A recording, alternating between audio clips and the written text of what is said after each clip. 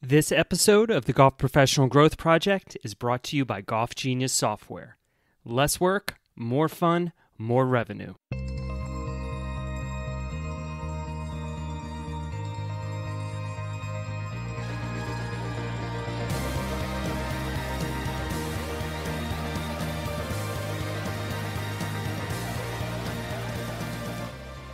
You are listening to the Golf Professional Growth Project. My name is Dean Kandle, and I'm on a mission to help you, today's golf professional, build the skills it takes to thrive at work and succeed in life. I'm going beyond the traditional education that focuses on golf specific training and digging deeper to find the real skills, the methods, and the tactics that the most successful people inside and outside of our industry use every day to achieve long term success. Welcome to episode two of the Golf Professional Growth Project. Thank you for joining me.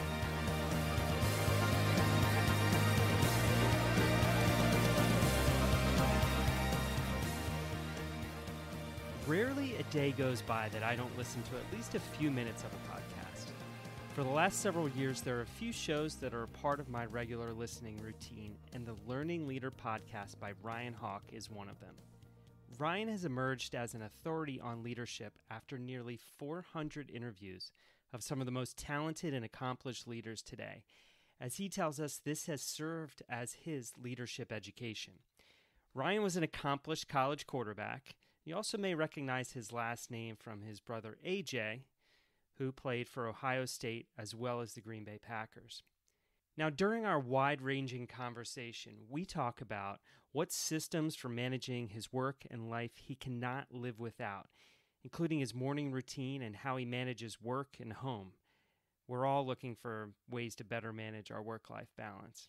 We also talk about what he would say to someone that thinks leadership isn't worth their time. And if that's you, it's worth listening to his answer. Pay special attention to his advice about hiring. So many of us are in charge of hiring people, but it's not something we get any formal training or coaching about. And Ryan goes into detail about how to hire better. Be sure to check out Ryan's podcast, and I recommend his new book, Welcome to Management, not only for new and aspiring managers, but any of us that are in charge of others. I ask you also, since this show is new and it's so important that if you like it, you rate and subscribe. I truly appreciate it. That helps others find the show and will help spread the word to our golf professional colleagues and friends. So here it is my conversation with Ryan Hawk first off, thanks so much for taking some time to do this. I know how busy you are, so this was uh, this was really cool for me. I've been a big fan for a while, and I really sure. appreciate it. Yeah, man. Thanks for having me. Yeah, I've been following Learning Leader podcast um, now for a couple years, and been really impressed with all the content you've put out there. And now leading up to the book, which it sounds like has been a real success for you. Forbes called it the best leadership book of 2020. So that's pretty high praise. And as somebody that's read it, I can really uh, attest to uh, how great a resource it is. So congrats on the book. I'm sure it was a challenge to get done and quite a quite a relief once you got it done. Yeah, thank you. I appreciate that. It um, is completely different than a podcast. You know, sitting down and writing and getting everything uh, from your mind onto a page and then the editing process all of it uh, it was good. It was it, i i enjoy uh, some of the the the aspects of emptying my mind onto the page. I think that can be a useful exercise for all of us to do and so I, i'm happy to see at least it turned into a book that could help other people yeah, I mean, especially the topic, and that and that's what drove me to it. Uh, obviously, as a fan of yours, but just the specific topic itself seems like it's so underserved. In I know in my industry, in the golf industry, I'll, you know, give you a little background about what typically happens for us is that a lot of times aspiring golf professionals they want to be a head golf professional or a GM or a director of golf at a club, and uh, we'll go through our, our tenure as an assistant professional, and then a lot of times clubs are hiring uh, young men and women in their in late 20s, early 30s for these management roles where we're we're now jumping in leading teams of sometimes dozens of people after being an individual contributor. We have hundreds or thousands of members and customers at our clubs. And now we're managing you know multi-million dollar budgets when before we were running tournaments on a daily basis and doing some clinics and lessons and hopefully just learning as we went along from hopefully some some good mentors. But the specifics on how to jump in and and and do all that well it's not really out there for us in our industry. So that's why the topic of this book jumped out to me. Good. I wouldn't have i wouldn't have necessarily thought that uh I, am a big fan of golf. I actually watch a lot of golf. I'm happy it's back, um, and I play a few times a year, but desperately need uh, some help to hit the ball straighter. But uh, yeah, no, that's why when you when you reached out, I was I was very curious.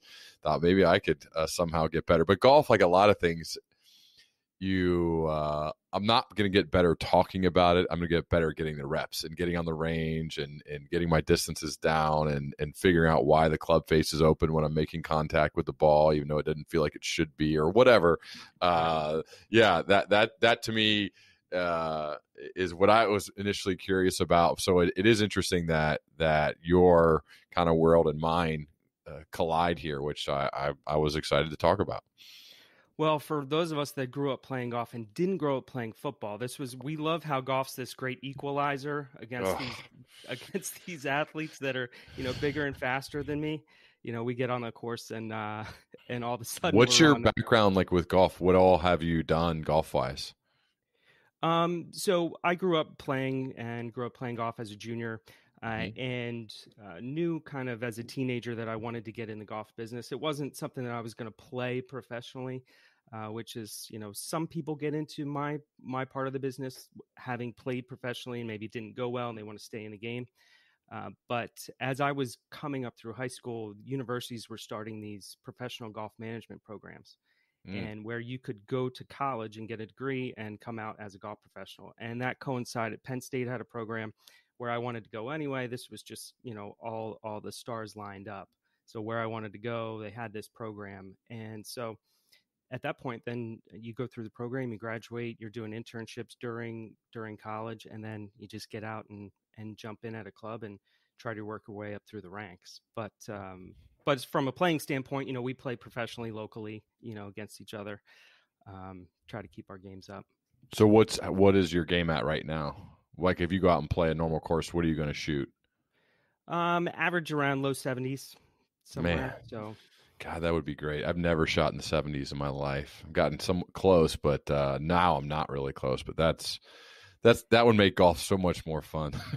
they say, you know, as long as you don't take it too seriously. Yeah. Say, you know, I'm ready to really take this up and take it seriously. I'm like, whoa, whoa, whoa, you're having a good time with it right now. Just kind of enjoy it. But I'm sure yeah. you're a competitive guy and you're not gonna, yeah. you know, if you're gonna do it, just, you're gonna want to go out and yeah, you know, it well. just it's just frustrating. You get out there and feel like I'm, I'm you want to do it properly, and then you, you know, you hit it over there, you know, and then it happened. And then I'm like, wait, why? You know, I, I've always like in football, I could always if something was off, I could adjust the very next throw or or whatever it may be and get back on track. And I think the good golfers, and obviously you can attest this, you know exactly why you you missed a shot or you hit it to the right or the left.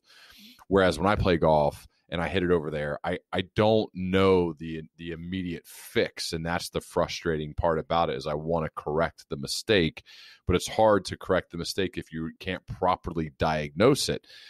Uh, you know, and that's why when you do hit the good shots and you feel it, you want to keep coming back and say like i could you know I, I can get better but it's just like anything in life it's a great metaphor for life i believe because you if you want to be great at anything you've got to get the reps you got to you got to get out there and do it whether it's speaking on a stage or doing a podcast or writing or whatever it may be. If you're not regularly consistently getting the reps then how could i expect my golf game to improve dramatically if i'm on a course 3 times a year? It's not going to happen, you know. So I think that's that's the that's like the good reminder for me is stop complaining unless you want to do something about it and actually get out on the golf course and play more you know right and that's one of the challenges for high achievers in golf i think when playing golf you know and you know i always say sports like football you can go out you can run you can just you can just try harder you can hustle more you're having a bad game but you know you can still give it your all and, and get everything out out of that game that you possibly can if you're not having a great day. Now, as a quarterback, it's more magnified probably than in some other positions sometimes. But in golf, you just can't decide to try harder. And in fact, that hurts you the harder you Yeah. try. So, Yeah. Yeah, that's why it's so frustrating. You know, let me take how I performed on in this sport or in this part of my life and take that to the golf course. And I, I, I remember some of the times when I was actually starting to hit the ball, hit the ball a lot better, is when I was just basically trying to uh, just smooth shots. You know, take like an extra club and smooth it up to be like, hey, okay, this is an eight iron. I'm actually going to hit a seven and and swing lighter and for whatever reason all of a sudden I'm starting to hit the ball more flush. It's it's weird. Golf is tough. I could talk about my bad golf game all day. I know you didn't come here you didn't want me to come here to talk about that, but uh anyway, that's that's that was what was on my mind as we were preparing for this talk. So anybody out in Ryan's area, you're in Dayton area, Ryan? Is Yeah, that right? All right. yeah. Ryan needs help. I do. So help. Yeah, I do. I'm actually playing with my dad and my brother tomorrow uh, in Columbus uh, as our Father's Day gift to my dad every year. Um, is we we go out and play around a golf with him, and uh, yeah, so it'll be fun. I'm excited to get back on on of course with especially just the company being with my family and, and having a good time. And you know, you will be frustrated part of the time when we hit bad shots, but maybe I'll make a putt or something, and we have fun. So yeah, it's it's that's the cool thing about golf too is you really get quality time with with with friends and family. I love that aspect of it. What about the trash talking though amongst dad and Oh, yeah. and your brother? Yeah, yeah, yeah, yeah. Well, we we my brother and I really make fun of my dad. Uh, he's the ultimate leader. He's the greatest at pretty much everything he does, and he's not a good golfer. He's left-handed. He slices the ball all the time. He's working on it, but just has not figured it out. And he plays every day. So, Mhm. uh, yeah, he uh, doesn't have his, the excuse that we have, but uh, that's that's partially why we make fun of him so much. uh, but it's all with love and fun. But yeah, we give him a hard time, and we have a rule. And I, I'd be curious as a as an actual real professional golfer like you. My brother and I's rule is you can't. There are no gimmies. So Mm. even if you have a one inch putt, you have to. The the hole is not over until the ball is at the bottom of the cup every time, no matter what, with no exceptions. And if you pick it up, then it, we there's penalties, especially we have little bets on the line. So he knows, and our friends now, and and and it always becomes an argument. But that's our rule that we've stuck to, and because I played with people and they give you these four and a half footers that you're going to miss half the time. Not you, but me will uh-huh. miss half the time. So we've we built this rule like we there are no gimmies no matter what, and it frustrates others. But I just feel like when I watch golf on TV, they don't have, you know, they have to put, they have to make the putts in their tournaments. So like we make people make putts. I'd be curious to get your thoughts on why maybe I'm wrong with that. Oh, you're not wrong. I mean, you play golf until the ball's in the hole. That's the way the, Right. the sport is played. But there is this, this Weird etiquette. exactly that. You know, oh, that's good. Pick it up. We're just playing for fun. But but meanwhile, people still do it when they have money on the line. They're playing against their buddies, uh, and then they post the score like all those putts were going to go in. And as to your point, you know that they're not going to. But this is, you know, this just you can tell that you didn't come up playing golf because you know nobody handed you a touchdown from the two yard line, right? You had to get the ball over the goal line. Yeah, exactly. So anyway, that's one of our rules. I don't think everyone likes it, but uh, I firmly will will die on that hill. I think we you have no matter where you're at, even in match play, I see those guys in the Ryder Cup or wherever. Hey, just putt the ball, you know. Yeah. And I saw when Tiger would get mad sometimes when he's playing, they wouldn't he wouldn't he wouldn't let him pick it up. Uh, I I always thought that was a better way to play. It doesn't slow the game down there. that much either. I think some people say it's for speed. You know, maybe it saves a little bit of time. Yeah. right.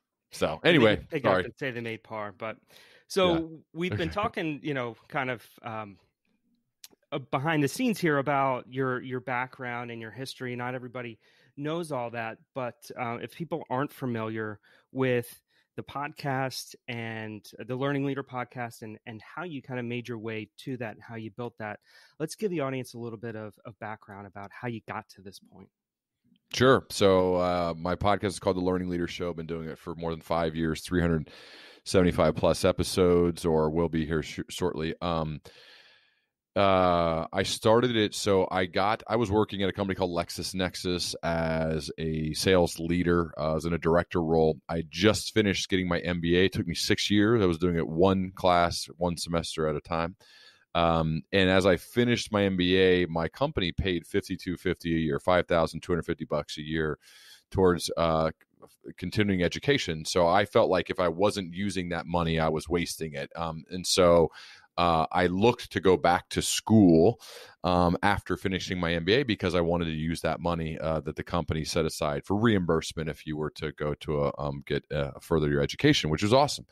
But um, I also didn't love all aspects of uh, getting my MBA, of the classes or the teachers. I mean, some of them were good, some of them weren't and at the same time i was a really big podcast listener uh, to shows people like joe rogan brian koppelman terry gross on fresh air. And so i i, I listened to these shows um, and i also was fortunate to have a dinner set up with todd wagner and todd is mark cuban's business partner. And um, uh, before dinner i was able to meet up with todd and we had a kind of a one-on-one conversation where i got to ask him all about um, his the beginnings of broadcast.com that that's the business that him and mark built mm-hmm. until uh, eventually sell it to yahoo for more than five billion dollars making him and mark billionaires and and we went back and forth and he was really kind and generous with his time and knowledge and i thought well instead of going back to school I'd like to do this. I want to have long form conversations with people like Todd, who are both wise and kind and generous, really smart and have lived a life of excellence i want to do that and i and that could become hopefully my leadership phd program that i could build for myself. And if i record those conversations the the positives that could come from that are one it would build some sort of platform which then could give me the opportunity to speak with other people like todd because they, they may be more apt to do it if there's an actual official platform built. And two others could also listen and learn along with me. And the, the thought of being able to help others as i was progressing as i was growing as i was learning was very attractive to me. And and and the name learning leader comes from the fact that my favorite leaders that i've ever been around that I've had the good fortune to either play for as a player or work for or work alongside. They were the types who were always striving to to to grow, to improve, to learn, to get better. Their heads were in their books. They're taking notes. Whenever they would open up a, a meeting, they would share some story from an article or a book they had read. They were learning leaders, and so uh, that's why it got the name and you know, I started as just something on the side for fun as a way to learn and and and uh, you never know what's going to happen when you decide to start publishing your work though. And in this case, it it, it caught on and um, you know really hit the top of the charts in iTunes back when when when uh, I started and and and that just kept the the snowball building until eventually uh, almost three years ago I was you know the the idea to do this full time as as a as my business um, was brought to me by my friend Doug Meyer, who's a big supporter and now business partner of mine. Uh, I left corporate America to do this full time. Uh, it'll be three years in November, and so that's uh, that's that's the somewhat long version of the story. It could be much longer, but I try to scale it down for you. No worries at all. So if you ha- now you're you're approaching 400 episodes. You just said going to be mm-hmm. 375 mm-hmm. soon. Yep. If you had, you've probably done this, so I don't think I'm throwing for a loop, you for a loop. But if you had to scale down now the definitive skills of a great leader, if if you were teaching this to school age children, here's what I, I've learned are the the major skills you need in order to to be successful as a leader what would those drill down to yeah um and I don't know how this would play with a younger person because I'm thinking of my younger self, and I don't know what I would think. But but if I had to use just two words, um, even though there really are probably 20, but if I had to use two words, they would be first would be very thoughtful people. Um, so the, the, the excellent leaders who are sustaining excellence, the high achievers, um, the productive achievers are the ones who are regularly taking a step back to analyze themselves, the world around them, as well as educate themselves. They're learners, right? They're thoughtful people, so they're they they have the ability to pause, reflect, analyze what I've done, what's worked, what hasn't, what should I keep doing, and that has helped them continue to perform at levels like this where they're increasing their performance on a daily basis and two they're very intentional with their actions so thoughtfulness and intentionality are really the twin pistons of growth as i've written about and i think those that that's what i would say uh, are the commonalities meaning the the people who act with intentionality don't just wander haphazardly through life. They have intention with what they're doing every day. They said yes, right, Dean, to do this podcast with you for a specific reason because I was excited to share my message with someone who wrote me uh, a compelling cold email. And I, I wanted to be a part of it. I wanted to help. And also, part of this is I vividly remember, and this is still happening for me, people who have given their time to me to be on my show, especially near the beginning of it.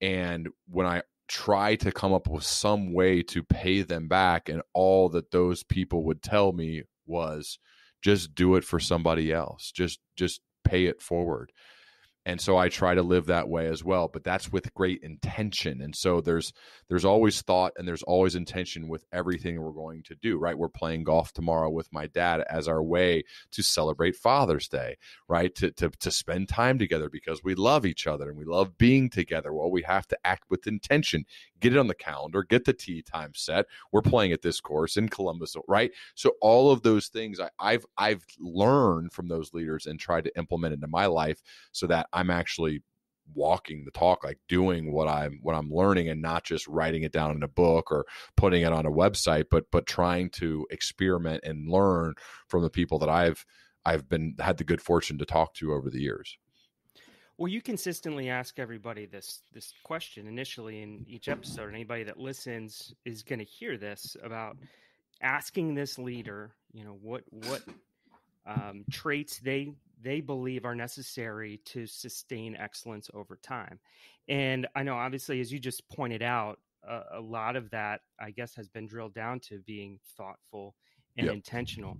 Mm-hmm. What's what are ones that stand out though? Answers that you got that specifically you just you implemented right away that that stand out to you from some of the great leaders you've interviewed. Um, I, the the one that I think of uh, that, that immediately pops to my mind is when I talked to Kat Cole, episode seventy eight. It's been years now since I talked to Kat, and I don't know if you've listened to that one, but it if if you haven't, it's you'll you'll like it. But um, sh- the way that she described it, that I try to think about for myself and for others, is that the productive achievers.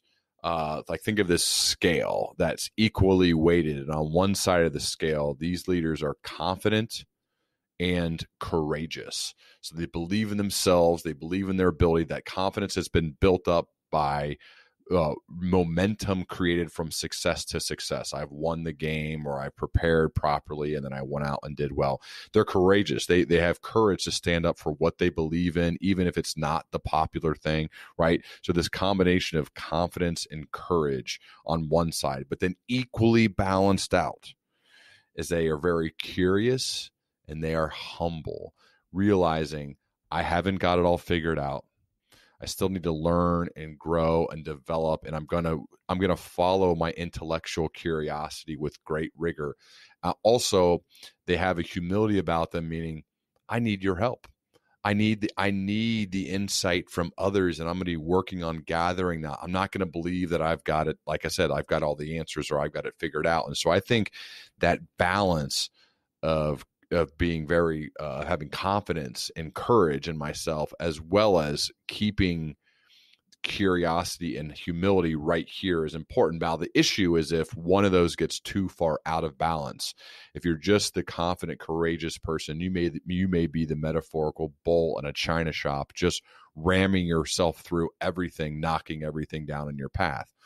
Likewise if you're just curious and humble you may be the person sitting in the corner just taking notes all day, never taking action. And so that's why it's important that this is an equally balanced way to approach your your life, your job as a leader. And doing so uh, can be very beneficial. And I learned that from Kat years ago, and I still still think about it uh, to this day. I think, as I've heard you mention that before, that's when I think of those, you know, equal sides of that scale. It to me, it stands out that as you work your way up the ladder, whatever job it may be, and that confidence and that courage is really, really important to to give you that belief that you can make it and that you need to to keep performing at a high level. But if you don't then develop that curiosity, that humility when you get to these leadership positions, you're bound to fail, I think, and not not sustain excellence over time. Do you feel like you you've seen that, or maybe that was partially Ryan Hawk as he worked his way up the ladder? What's that? What's that? That you were more heavily weighted on on confidence and courage as you kind of tried to achieve your goals in the in the corporate world and maybe didn't have all that curiosity and humility as you at, at, the same time and had to develop that that other part curiosity and humility when you got to a leadership position had to develop the second part of that yeah. equation yeah, I would I would say for sure if anything especially coming off the football field uh, there is an abundance of confidence borderline arrogance um, as a quarterback. In a, in a way, it's it's not the worst trait or quality to have. If you look at some of the most successful quarterbacks in the NFL, particularly Tom Brady and Aaron Rodgers, Patrick Mahomes, these guys believe that they can fit the ball anywhere. They have this overwhelming belief in themselves that they will be able to move the ball down the field and, and, and win. Um, and so I, I, that's how I felt. I mean, I, I felt like when I went out in the field, my preparation was going to lead me to be invincible. Um, and so you take some of that. The business world, it's not always not always good. I mean, it, it, it it's it's that overconfidence, borderline arrogance could be a problem. Um, yes, as I matured and became uh, just more grown up and less immature in the business world, that's when um, I started really getting into books and learning, and one book would lead to the next, to the next, to the next, and then I would see other leaders who I thought were really good, and I would ask them what they're doing, and and they're all well-read people, and then I would also see bad leaders, which we all know some of those are a bad boss, and you would look at what they do, and they're never reading because they've already got it all figured out. They already have all the answers. They already know everything. They've got it. And so I thought like I don't want to be like that guy and I do want to be like her. So I'm I'm I'm following in like those footsteps of the one who was the well-read, curious, humble leader versus the overconfident, arrogant, I've got it all figured out, you know, no problems here type of a leader. And so I, I that that was just a, a process to learn and that took took years. Still, it's still in process. Right. You know. It always yeah. will be, right? Yeah. Hey golf pros. How many times have you dealt with a frustrated customer that was never updated on the status of a special order? What about the member that was never told his club arrived as it sat in the corner of the office for days on end? Have you ever wished that you could have a more foolproof special order process so that nothing fell through the cracks and your customers left happy and satisfied every time? Just think about how that could improve your sales. Golf Genius Golf Shop is here to help. Golf Shop is the only product on the market created to help your golf retail business communicate with your customers and organize your orders so you can provide the experience your customers have come to expect in today's retail environment, just like the big box stores and online retailers. Place an order, an email or text goes out notifying your customer. Update the status of an order, and another notification goes out. The order arrives, just click a button and let them know it's here. Plus, you can customize the notifications to match your specific needs. I'm always looking for ways to be more productive and save time. That's why I've been using Golf Genius Golf Shop since it was released last year. I love the efficiency it has added to our special orders. My members appreciate the constant communication, and our staff isn't bogged down sending emails or making phone calls every time an order arrives. I can easily check if an order is taking longer than expected by viewing the special order dashboard, which keeps me up to speed with any orders that need attention. The result is increased sales that come from a more consistent, reliable, and efficient special order process. Put a stop to the endless questions about did you place my order or is my order here and get Golf Genius Golf Shop. For more info, go to golfgenius.com.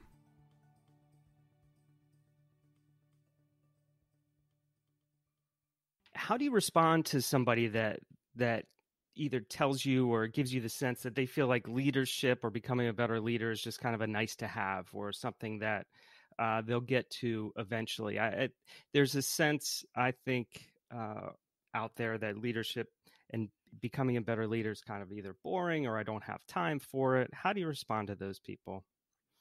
Well, I think it's it, has been labeled as a soft skill. Um, you know, I, I, just try to relabel it as an essential skill. Um, and I also would, if it's somebody like that, um, I, I d- depending on how much I, I care to change their mind, uh, I may just let them go and figure it out. But if I if I if I there's a good reason to change their mind, I, I would probably cite um, some other companies or other groups who really value uh, time and place emphasis on development of people as leaders and show how maybe that helps the bottom line if that's something that that particular person is really interested in like if they say oh you don't have we don't have time for that we've got to hit the number or we have revenue metrics or targets that we must achieve and so then i would try to understand the psychology behind what do they care about and then how what excellent leadership how that leads to their ultimate goal their end state. And so maybe it helps them stumble upon that in a different way by leading through what they're most interested in. If it's a specific goal that that what i'm like excellent leadership will help you achieve this goal um, i will tie that those things together as opposed to just lecturing them or, or preaching to them about why leadership's so important I think that's one of the challenges in our industry. We, uh, a lot of us, uh, and a lot of the audience, they're they're working at private golf clubs where the focus is on the membership and and customer service and and serving their members and uh, and it's easy for leaders to get bogged down by that and lose track or lose sight of the fact that the people that they're working with are really what makes all that happen and that the better that they lead those people the better the result is going to be for the members at the club and and the bottom line at the club the leaders at the club that are looking for us to to drive the results. And uh, i think but sometimes getting that picture across to people that don't believe that or they come from an old school mentality uh, where it's kind of a command and control mentality or that's the way i was brought up. So you know you're going to work 80 hours a week and blah blah blah uh, and that's going to produce you know the results that we're looking for. Certainly not relevant uh, or the best way to lead in this day and age but i want to jump into the book for everybody to give uh, everybody a little understanding of the framework that you used for this book because i think that was really one of the the huge benefits of this is the simplistic outline that you use in hitting on these three main points of leading yourself building your team and then leading your team which is really an insightful way to think of this so in leading your team you talk a lot about uh, personal development, personal growth, and the importance there. You also talk about productivity, and I'm I'm a bit of a productivity junkie. I'm uh, I'm always looking for different systems and ways that I can keep myself better organized, accomplish more tasks, lower my stress levels, in, in getting a lot of tasks done. And I think a lot about this quote that you included in the book that uh, I had heard from James Clear about you don't rise to the level of your goals, you fall to the level of your systems. I truly think that's one of those quotes that's going to go down in history with Peter Drucker quotes and John Maxwell quotes that you mm-hmm. just is one to live by. So, with that said, what are some of the systems that you've created over time that if somebody said you can't do that anymore, you'd say, "Uh-oh, uh, I'm really going to struggle now," or "What am I going to do now?" What are those those those uh, non-negotiable systems that that you've implemented in your life? Um, hmm. Non-negotiables. I mean doing stuff like this having long form one-on-one conversations with interesting people uh, is part of my learning process. Um, i prefer the, the this manner uh, to maybe larger groups um, but I, I would say like if, if you think about like my framework which i also have outlined of how i like what what it what makes up a good day it's really in four parts and i want to spend hopefully a portion of every uh, I want to spend every day hopefully doing these four things in this particular order. And and the first part of that is is the consumption of knowledge. Uh, read books, listen to podcasts, watch TED talks, whatever whatever it may be. Right, I need to be a consumer of knowledge. That's the first part of this framework of how to behave for me, my system. Second, I must experiment with what I've learned. You can't just be a learner, you have to be a doer. You have to actually put it into play. We learn who we are in practice, not in theory. So put whatever I'm consuming into play, experiment. Third, take a step back, reflect, analyze what I have done based upon what I've what I've consumed. So I've I've done these series of experiments. Perhaps one example could be I read about a new way to open a meeting, and so I tested out a new opener to the meeting that I'm leading, whatever. And I and I'm going to bring somebody with me to watch and observe and perhaps coach me. And so part of that reflection is okay, I read about this way to open a meeting. I'm experimenting with it during my next meeting. I brought a coach with me to help me reflect on that, so I can I can do a, a real time after action review to say yes, keep doing that, or no, didn't work. Let's let's move on to the next experiment. And then the fourth the fourth stage of that, something that I'm doing now and and and, doing uh, quite frequently, is teach.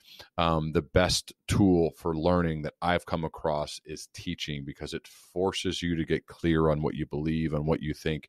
It forces you to really get to the essence of a message and break it down into its core and distinct parts and then figure out what's most important for this particular audience and how am I going to portray that? What am I actually going to say? What am I going to show on the screen behind me to help reinforce my message, right? The teaching and the preparation leading up to the moments when you're teaching is when a ton of learning happens. So if I can do if I can be a consumer of knowledge, experiment with that, reflect on that, and then teach, that's a really good day.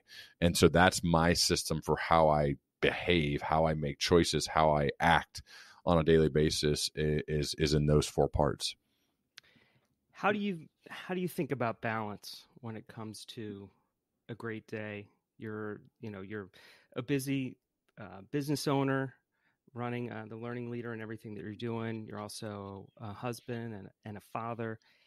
How have you worked that uh, into your life so you can be successful on both fronts?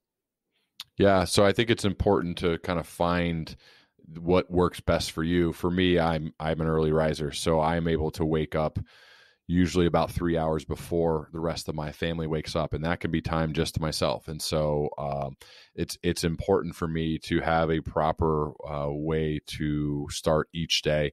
Um, and a lot of that is dealing with my mind and my body. And so a combination of writing and reading and stretching, getting hydrated, working out every day.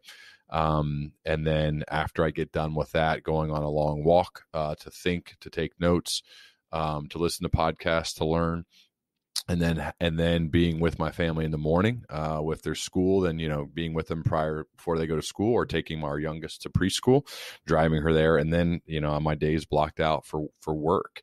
Um, but I also uh, do my best to to be home, be there for breakfast and for dinner.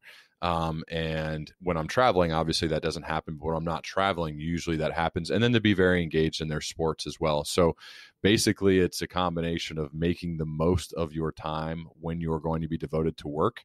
Uh, in my case, getting up uh, hours before they wake up so that when they are ready to go, I am too. And then when it's time to work, get the work done uh, in order to be able to not have to to be doing the work while you're with them at night. And then there are nights where my wife and I both will uh, perhaps crack the laptops back open after our girls go to bed and we may do work for another hour or two. And that's that's usually how I behave. Now when I'm in book writing mode, you know, that I would say there is more emphasis and focus on getting to my word count per day goals that I set that can cut into other aspects of my work, of my business, and sometimes my family.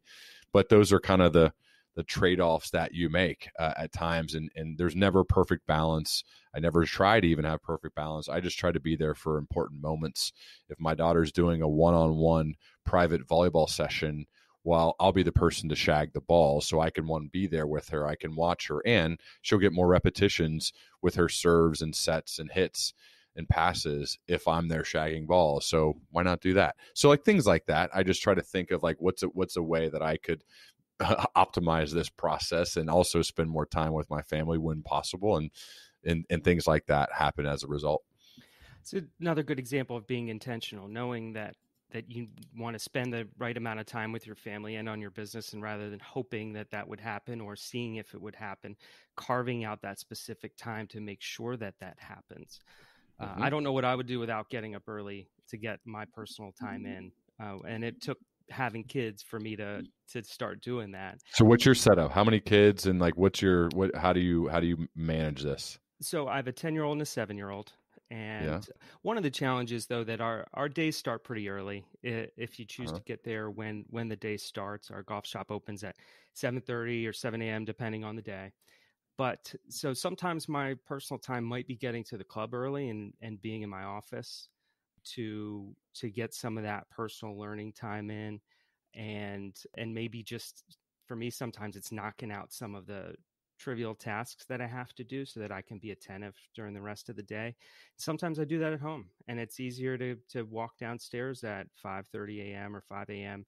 and and get that stuff done for two hours and then still be at the club by eight o'clock. So, you know, for me that involves it involves reading, uh, it involves planning out my day down to you know in in specific blocks and really putting myself in whatever position I need to to be able to make sure that I'm attentive to the people that I'm going to be with the rest of the day, whether that's the people I work with, the members of the club, or, and then my family when I get home. So that's also uh, the only way that I've been able to do this side project where I'm doing the podcast and I, and I do writing for a website that I started as well. And that all happens before 7.30 as far as uh, the writing and the planning for this. So nice. Uh, hmm. I'm, I'm with you as far as how important that, that time is. Couldn't do without it. Yeah, very cool. Very cool. So, getting to the next part of the book, you talk about building your team, and there are some great quotes in this part of the book. Uh, Jim Collins told you, author of Good to Great, he told you on your episode that uh, take care of your people, not your career. Your dad, who you mention a lot as, um, I guess, the number one mentor, leadership mentor in your life, told you that hiring, training, and developing the right people will make you rich and famous in your industry. Uh, that's certainly something I think that we subscribe to in the golf business. Uh, and then you go on to say those who hire well have the greatest odds of sustaining excellence over time. That right there, that's a pretty heavy statement. You have the greatest odds of sustaining excellence over time if you hire well. I think as leaders and managers, we all know the importance of hiring and how great it is when we when we do hire well. However, many of us aren't experts at it, and I don't feel like put the time into it to be better at it. So, for those of us that need to get better, what would you say is the, the first couple things that we could do to get better at hiring? First, I think I would get very clear on what you value. Um, an exercise I'll often do with leadership teams as they're looking to grow is we'll sit down and say, and there'll be a, you know, I'll be around a table or on Zoom with a number of leaders, and I'll say, okay, what are you looking for? What do you value? What do you want? And the amazing thing that happens uh, often when we're doing that is they don't know or they have wide variety of what they're looking for amongst the leaders and the team. And what it shows me is they have not taken the time to get clear on what they want. Now when it's very cool is when it's evident and obvious that they've already done that part that they are very clear on we value this this and this. And these are the kind of non negotiables, as you said, or the must haves in a person that we're going to hire on our team. That's first. If you've done it, great. If not, do it. Next, though, is designing the interview process to understand if they possess the qualities that you want. Actually, thinking about what questions are we going to ask and why we ask them. When I was a brand new manager, Dean, I uh, uh, was starting to interview for the open positions on my team, I had no idea what I was doing. And so I actually uh, asked another manager who'd been doing it for a few years, and I was like, "What do we? You know, how do we? How do you do this? What should we do?" And he forwarded me an email that had been forwarded to him two years prior, and the attachment in the email was this Word document that looked very dated with just like 30 questions, just random interview questions. And he's like, hey, this helps me out or whatever. And so I just started asking those questions, and there was no rhyme or reason. There was no purpose. None of them really made sense. There was, I ask in random order, and then I'd get done, and they'd be like, "What do you think?" And I'd say, "Well, I think they're pretty good," you know, or I don't know, I'm not sure, or nah, they're not that good. And there was no process, there was no purpose, there was nothing behind it. It was just a kind of a gut feel based on the person and I, I never identified what I cared about, what was valuable, what led to sustaining excellence in that particular role, and then how to identify that. And so, for me, it's the it's just really getting clear on what you value, on what you want, and then creating an interview process to determine if they exhibit those qualities and then also obviously background checks and other aspects to check check with others to see if they've exhibited those in real life in previous jobs or interactions with people. That alone, I mean, there's more to it, but that alone will put you past most people and the level of thought and intention that they have when it comes to who they're choosing to bring onto their teams. Yeah, and I think that's something that we miss in in the golf industry. I, I, I often think back to when I was interviewing for my current position, and they asked me a lot of questions about you know, um, what's your playing background? What's your merchandising philosophy? What's your teaching philosophy? And now, 10 years into this position, there's a merchandiser, a full time merchandiser. We have a full time teacher. Uh, I play golf occasionally. Uh, I play a lot at the club, but those things that they asked me that seemed important at the time, we have other people that are are heading up a lot of those uh, tournaments. Is another one. How do you how do you run events? Well, a lot of the other staff leads the administration of the events but nobody asked me a question about my leadership philosophy or how I how I help motivate people or how I evaluate people, how I coach people when that's really what we do almost all day. so yeah. valuable insight though about defining of defining what we want and then creating those questions that are going to peel that out and I would imagine during the interview process trying to really dive into and not not letting people off the hook with simple general answers maybe to some of those questions well i mean as you know as someone who interviews people the the the gold usually comes from the follow-up questions. The first one gets the conversation started on whatever it is that you're talking about but then being an active listener as the interviewer and then asking the follow-up based upon what that person says is where and, and, then maybe asking again and again to go deeper and maybe for examples or whatever it may be keep pushing the envelope a little bit further when it comes to to to getting more specific around. You could start high and broad at this this zoomed out view but then you you you zero in on specifics understanding if that person has like for me if i really care if someone has if they're thoughtful then they're then I'm going to ask questions that the, the, the, initial question may, may not even matter. It's going to be on well, I'm I'm determining how thoughtful they are about whatever topic we said, and so I want to hear their process to how they think. What do they? How do they go about something? What's their? How do they learn? What's something recent they've learned about? And then I'll keep pushing and pushing and pushing in regards to that to to identify if that person truly is a thoughtful person. And uh, it's not always comfortable. It's not always fun. Um, it takes some work, but uh, I found that to be beneficial in the long run, right? Because you you know you want to get those things right at the beginning. You, you mess up too many of those, it's costly. It could ruin your culture and your team. Uh, productivity will really decrease because you're always in this state of having to fire people and then hire people, and that that just takes a lot of time. Well, another question that I was not asked in an interview process that I think is really important, and you hit on this in the third part of the book in leading your team. Uh, I was never asked how I communicate, how I communicate with the, with coworkers, with my team.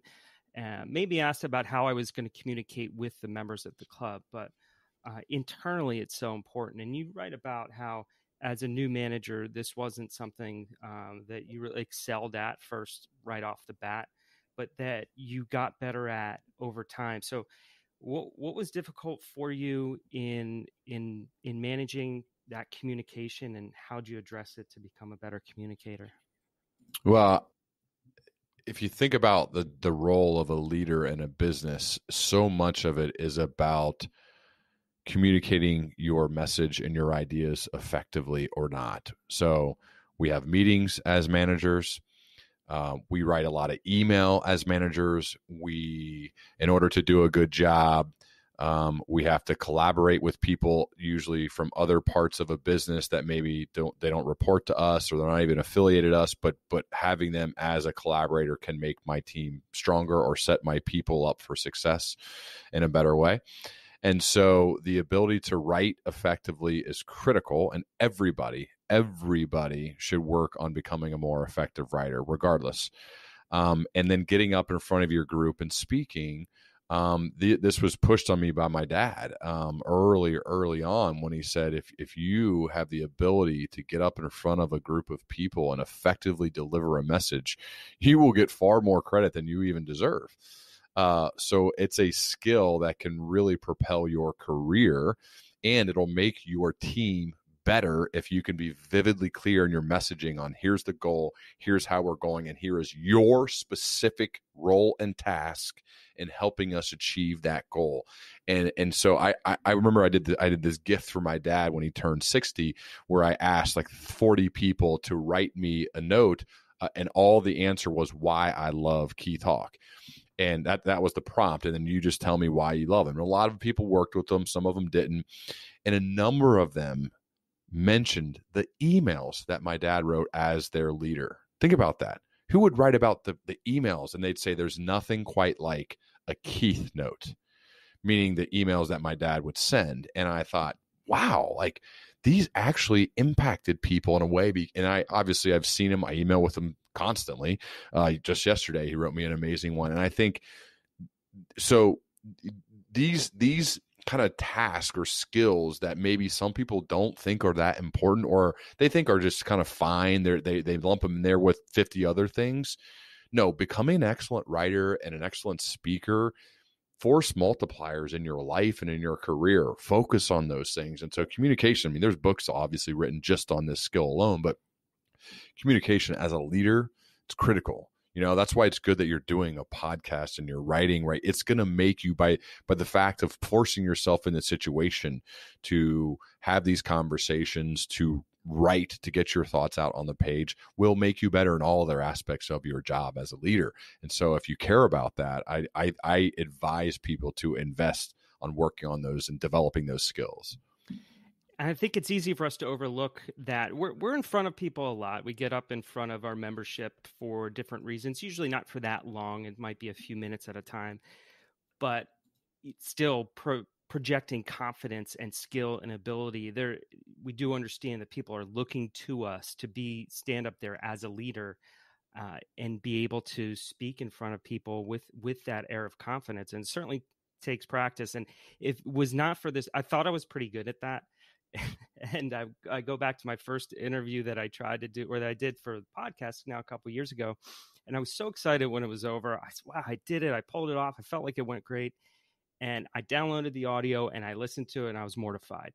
I already knew I didn't really want to hear my voice on, on the recording, but the number of ums and ahs and uh, that I had in there, it must it took me five hours to edit all of them out and but that's certainly helped me now as when i get up in front of our membership and maybe it's as simple as as a, a hundred people in front of me wondering what the format for today's tournament is but i can mm-hmm. do that with a lot more skill and hopefully with some eloquence that i wasn't able to do before so i forced myself to to listen to some of these some of these recordings so i encourage awesome so I'd encourage anybody to, even if you don't do a podcast, try to do it on recording and then play it back or put yourself on video. You you could be mortified just like I was. it's awesome. I love it. Well, Ryan, I just want to thank you for coming on and for the time. I I really I respect what you said about coming on and and doing this and paying it forward and hopefully sometime I get a chance to pay it forward to to somebody out there that uh, that wants to do the same, and so I, that really means a lot to me. Where can everybody look to get uh, more info about the podcast and the book? Yeah, uh, learningleader.com is where pretty much everything is housed for me. That's my home base. Uh, and also for people that are uh, on their phones, you can text the word learners to 44222 and you get everything that way as well. All right. I encourage everybody listen to the podcast, get the book, get on Ryan's email list for the Mindful Monday emails. Are really cool. A lot yeah. of great content in there. So, Ryan, thank you again. I'll be listening, and uh, hopefully, maybe sometime we can do this again. Love to. Thanks so much, Dean. Thank you for listening to this episode of the Golf Professional Growth Project. Be sure to rate and subscribe wherever you listen to podcasts and head to golfprofessionalgrowth.com for updates from GPG.